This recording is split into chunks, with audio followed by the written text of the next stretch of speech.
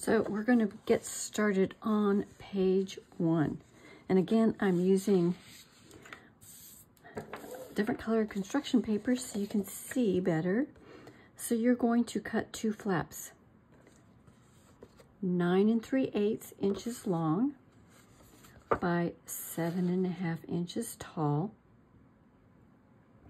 You are going to score it, so put it in your score scoreboard, half an inch and five inch, and then fold and burnish those. So you're going to do that for both pieces. So the way this is going to work, these two flaps, you're going to have one flap here that's going to be adhered to this end. And then where you have the score scored here, this one is going to be adhered to this end, like this. And then you're going to have this little gap in between. So you can go ahead and open it up and you're going to adhere this edge to here just get your score tape started and going to line it up right there and hold it in place and just pull. That's one. Same thing on this side. Get the score tape started.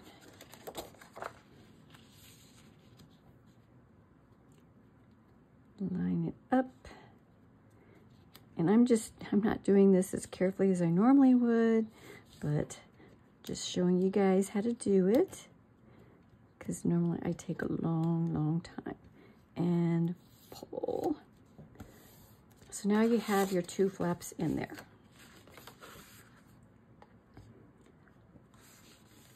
And there's a little gap between the score mark and the end of this. Can see the end of this and there's a little space in between. So these flaps are going to be going in like this. So they're going to be opening up like that.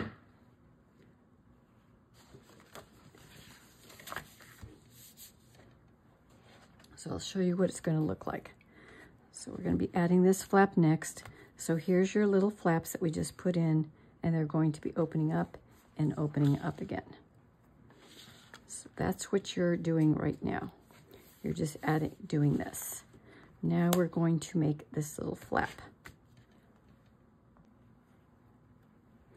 So to make that center flap right here, you are going to cut one piece, seven and a half inches tall by three and three quarter inches wide and you are going to score it on top here a half an inch and 5 eighths of an inch because we're going to form that tiny little gusset here, that 1 eighth of an inch gusset. So you're going to form your little gusset.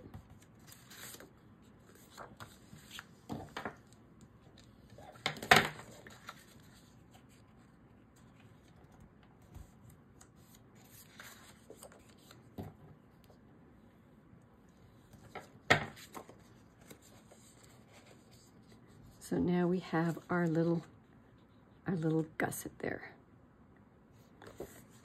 Next, you're going to find the center of this piece.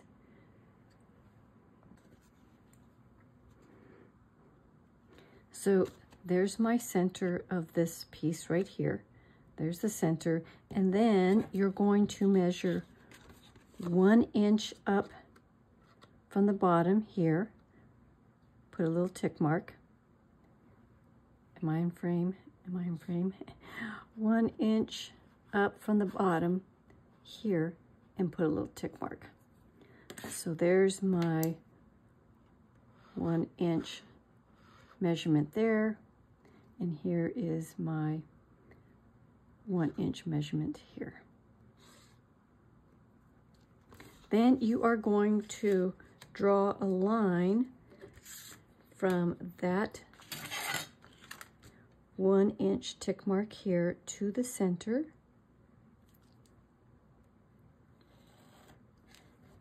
on both sides. So one inch to the center dot there.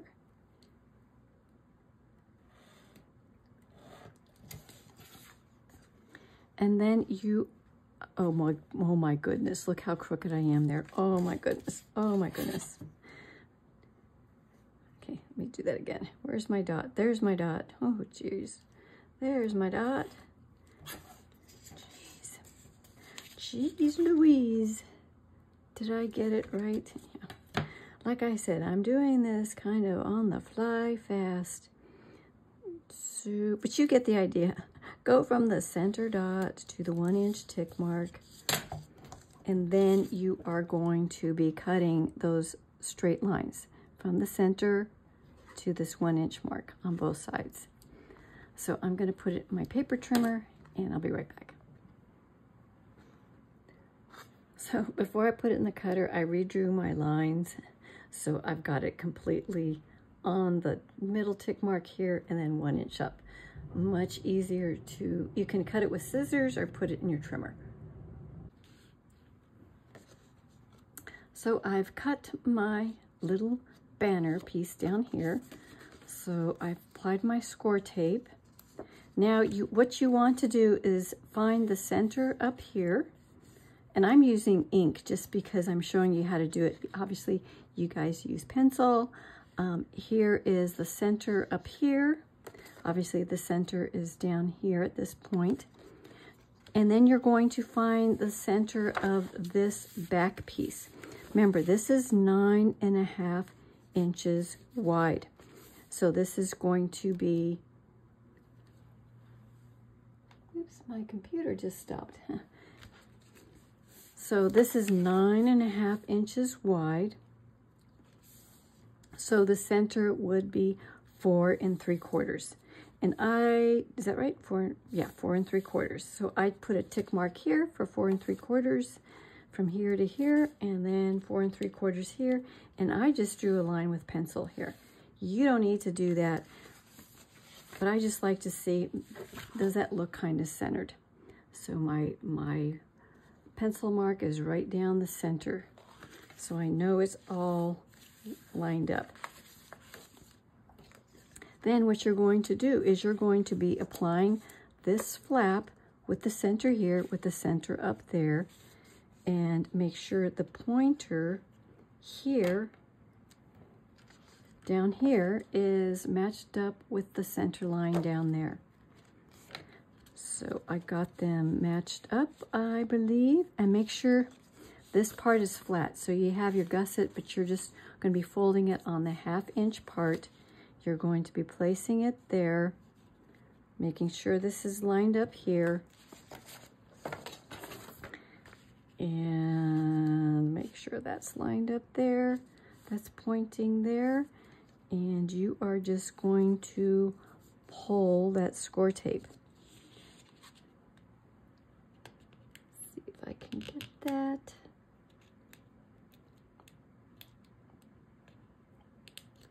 I have no nails. So make sure that is lined up. That's lined up. Push. And then you can reform your gusset. So that is going to be this flap like that. So now you have this. So now that you have this built, we are going to be adding magnets. So you're going to lift this flap up and I have two small basic gray magnets here and the way I put them in is a half an inch. The edge is going to be a half an inch in from the side here and a half an inch down from about this point. So I just put a little X there. That's where my, that's where I'm going to put them. Then you're going to find their counterparts where you're going to put them. So I'm just using that black construction tape and putting it underneath those magnets. So now we're going to transfer transfer these magnets down to these flaps. So hopefully, hopefully they will transfer. Let's see. Come on, transfer, transfer. Yes. So they've transferred down here. Now with this black construction tape, you can get those wrinkles out real easy. Um, I'm just not going to do it, but you can use any, you can use score tape to transfer to. So now we have our magnets in place. So now we can start adding designer paper. So now, that you've made everything for page one, we just need to add the designer paper. So first thing you're going to do is you're going to get this paper from the 8x8 collection with the little hearts. You're going to be adding this to the flap here. So all you have to do, I'm using this scrap piece of paper, is this was three and three quarter inches wide. So you're just going to cut this one eighth of an inch less. So you're going to cut that sheet of paper. So there you have your small reveal. So this is just three and three quarters minus one eighth of an inch. So you have your 16th inch reveal. And then you're going to do the same thing on this piece of paper. You're going to find the midpoint, which I did right here. There's the midpoint. And you're going to measure up one inch again. One inch on both sides. Same thing. Draw your line from the dot here to the dot here. And then you're just going to cut. So I'm just going to use my scissors. There to there there. Oops, can't see me, but I'm just cutting there to there.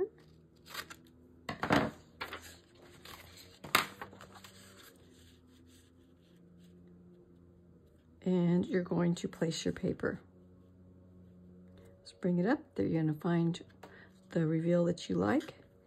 And then you just go to the top and cut it. So, and you're going to do the same thing for the back side. But for the back side, you are going to be using, let's check which one, the green, the green polka dot. This is from the um, um, 12 by 12 collection, this green paper. So you're going to be applying this. And just make sure, and you should be clear, your, your magnets are up here. So this, this piece, this journaling card on the back will be below these magnets and you should have plenty of clearance. So we got our designer paper on, then you're going to be applying this journal card. So you are going to get this and you are going to be mounting this on black cardstock that it this is going to be four by six inches. So this is four by six inches right there. You may need to do a little trimming of this card. I mean, just a little bit of trimming on the sides. Very little. And then make sure you round the corners again if you do trim it. Round the corners on the black cardstock. I'm using white just for demonstration. Ink the edges. And then you're going to pretend this has been mounted on this 4x6 piece you're going to be placing it over your um, front flap. So this is, you are going to be putting it, mine is, let me bring this up, see how far mine is. It is essentially three quarters of an, three quarters of an inch down from the top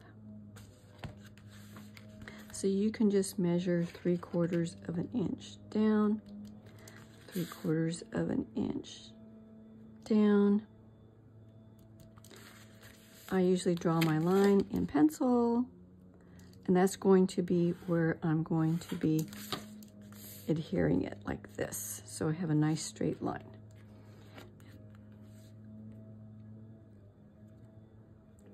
So do yours, um, adhere it down. Make sure this is centered. Find your center on this, this four by six, which would be three. You're gonna find your center, and that's where you're going to put it down. Now, what you what you need to do also is if you flip this over, you can just make your lines. These are going to be your wings.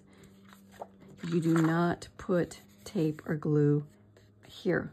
Only The only place you're going to put tape or glue is going to be within here. So put your tape or glue, find your center, and you're going to put that flap down. And on the back side, so you will then be having this black cardstock stick out here right? So, and it's, you've cleared your magnets. These are where the magnets were. So there it is. Then you're going to find, I don't, I don't have mine.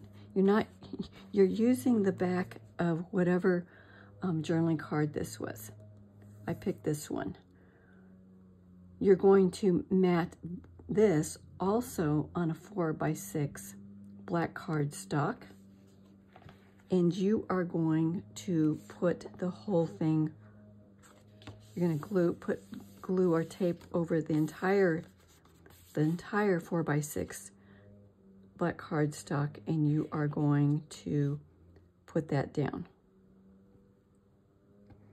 So it'll just, you're just matching it up with the front card and they should match up because they're the same size. So then you're, you're going to be done with your flap.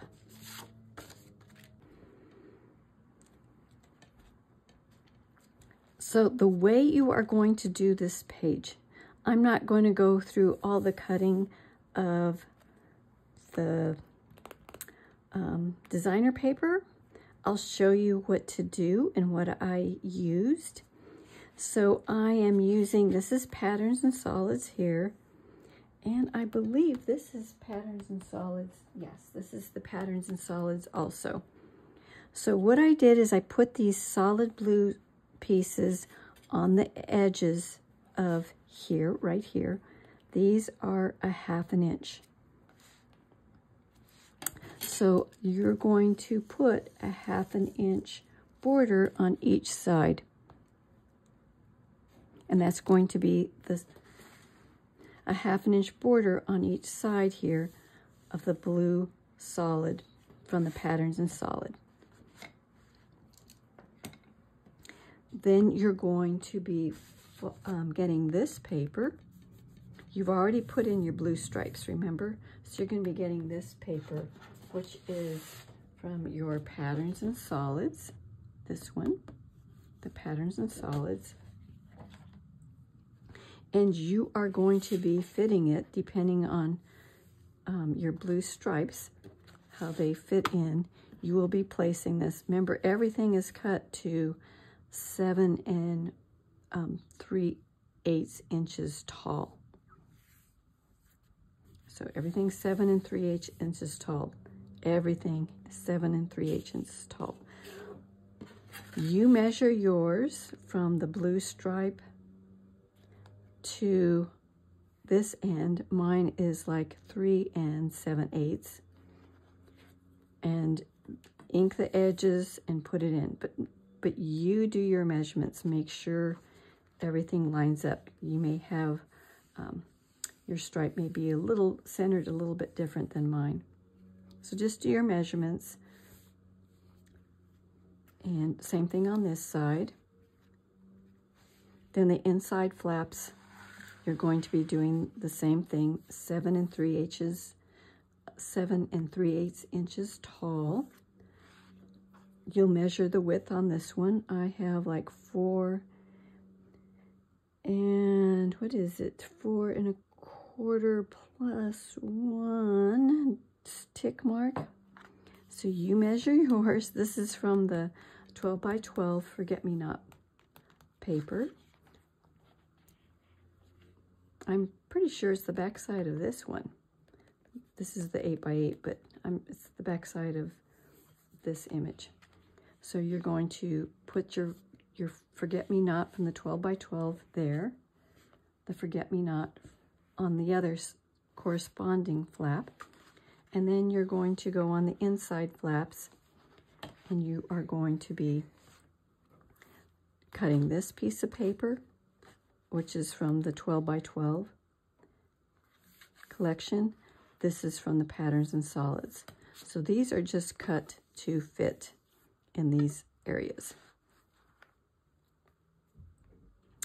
So, and remember, they're all the same height.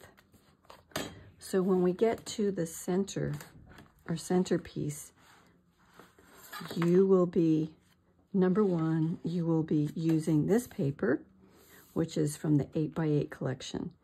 And I use the entire 8 inches. Remember, this whole thing is nine and a half inches. We are going to be putting this entire 8 by 8 image here, cutting off at 7 and 3 inch, inches tall, and you're going to be centering this piece of paper in the middle, and then you'll have this space on the side because this is only 8 inches wide. So then you're going to have these blue, you're going to have these spaces, and you're going to you're going to fill those spaces with your blue stripes. My blue stripes measure um, it's more than a half an inch, but less than three quarters of an inch. So it's, it's somewhere in between.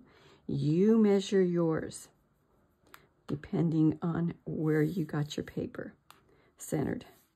So it's it should be less than three quarters, um, but more than a half an inch. And do each one, measure each one. They're all the same height. And then you're basically done with everything. It's just adding that designer paper. So that's it for page one.